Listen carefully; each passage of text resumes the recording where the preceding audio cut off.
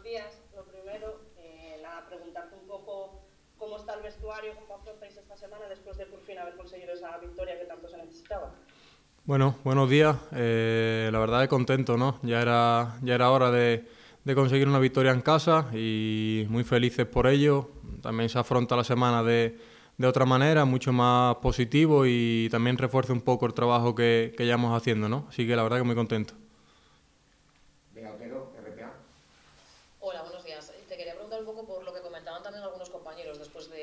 Partido eh, calificaban la victoria de liberadora. ¿Qué carga teníais tan grande para hablar en esos eh, términos?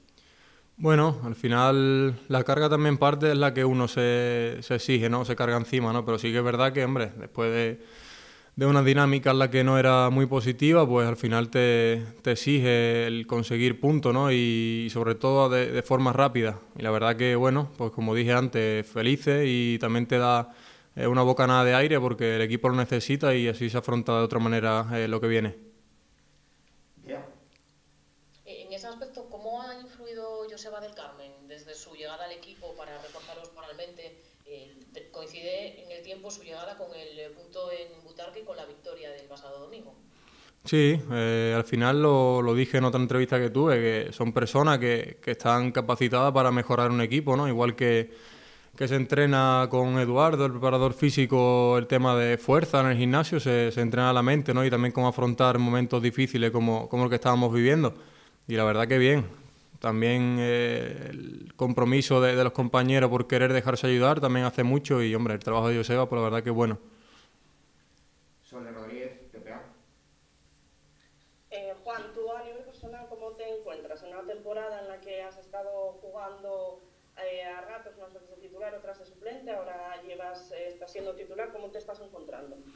Bueno, eh, contento, ¿no? Por sumar minutos y, y, por estar de titular, obviamente, ¿no? Pero, pero bueno, eh, hay que mantener un equilibrio mental, sobre todo en nivel colectivo y en mi caso personal, pues intentar dar el máximo los nueve partidos que quedan. Eh, me los tomo como como finales cada uno de ellos, porque es la única manera de, de revertir esta situación y de, y de, seguir haciendo buenos partidos, ¿no?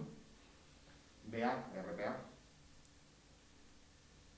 Me imagino que a tu llegada esperarías cosas distintas, ¿no? Eh, en cuanto a tener más minutos y otra clasificación también de, del equipo, ¿no?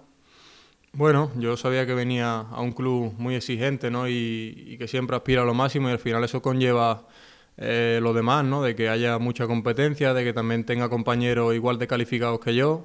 Y bueno, eh, al final eh, me costó empezar eh, la temporada, después hay altibajo y bueno, una temporada en parte un poco difícil, pero que sirve de aprendizaje máximo para mí en un futuro.